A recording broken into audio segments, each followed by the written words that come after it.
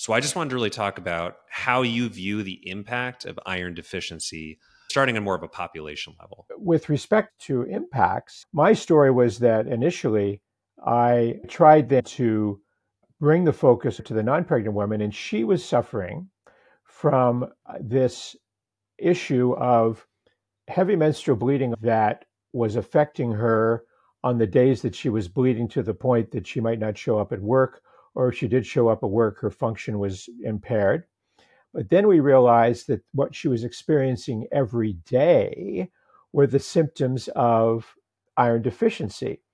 And as we learn that iron deficiency anemia uh, is the extreme end of the iron deficiency spectrum, and indeed, cognition is compromised, physical function is compromised even before anemia occurs.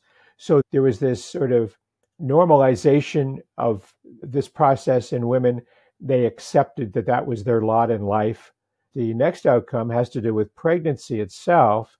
And we learn that those women who are iron deficient become pregnant. And the, the impacts include preterm labor, uh, growth restriction, uh, peripartum hemorrhage. So that's another set of outcomes to try to improve these obstetrical outcomes. And then we learn about the fetus and particularly about neurodevelopment. So, this fetus in utero needs iron to build things, build muscle, uh, not just skeletal muscle, but muscle, heart muscle, for example, and brain. And so the fetus directs its iron towards heme. And when it's slightly deficient or deficient, it takes it away from the development of brain, heart, skeletal muscle. And the outcomes are not just fixed by giving these kids iron later on, because it's almost like you're starting the foundation for a house and framing it. Um, and if it doesn't get started right in the periconceptual time, it's potentially permanently altered downstream.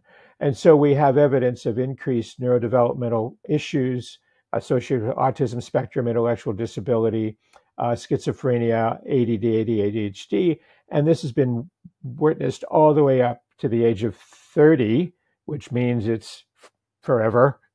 Uh, so those are the sets of outcomes that we want to impact: the quality of life for the women prior to pregnancy, the quality of pregnancy uh, and the adverse outcomes there, and the brain, uh, particularly of the baby. And it's not just the baby, the baby who becomes an adult.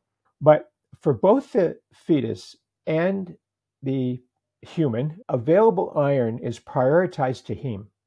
And when there's a deficiency in available iron, it's taken away from other either developmental or functional processes. So in the adult, it's taken away from brain function, from heart function, from muscle function. And it looks like functional capacity can be to a certain extent improved by giving them iron. In the baby, we're now talking about brain development, heart development, muscle development. So people need to understand that that it's heme that it gets focused to, and these other functional areas or developmental areas are what suffer when iron deficiency is present. Would it be fair to kind of put together that this loss of quality of life, functionality in the adult, and the potential neurodevelopmental outcomes in the newborn, the fetus, reflect that early shunting of, of available iron towards heme and away from these secondary sources.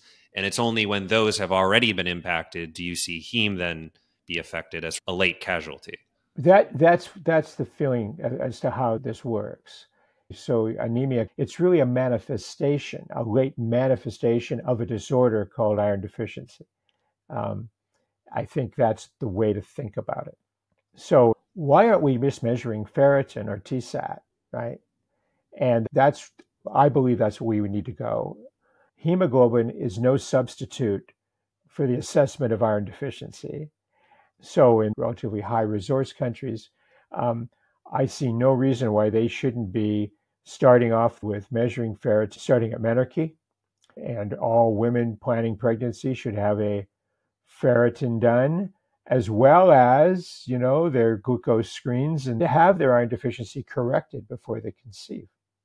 And with far more assisted reproductive technologies now, planning pregnancy is even more common than it used to be. So there's a greater opportunity. So I think putting it all into that frame, I think that's the I think that's the linchpin in driving uh, policy change.